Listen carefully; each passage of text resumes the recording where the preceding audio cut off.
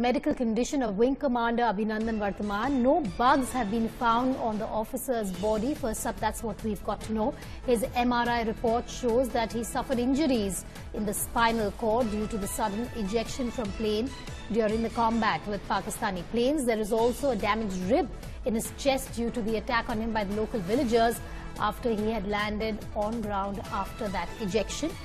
The officer will undergo more checkups and treatment at the Research and Referral, Referral Hospital in Delhi for the next 10 days is what we're being told. That's the latest information we have on the medical condition of Abhinandan Varthaman Wing Commander.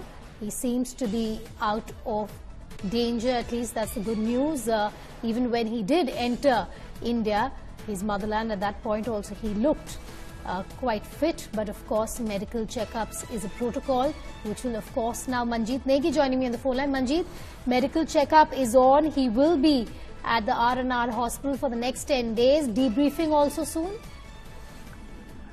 Yes, he will stay in a hospital, RR hospital in the next 10 days, but the, uh, uh, the doctors did not find any bugs which uh, could have been planted by the Pakistani agencies, especially the ISI. And also the MRI, uh, MRI report of Wing Commander with uh, Abhinandan Varthaman shows that the spinal uh, cord injury had been suffered by him due to the sudden ejection from, uh, the, uh, the, uh, the MiG-21 aircraft.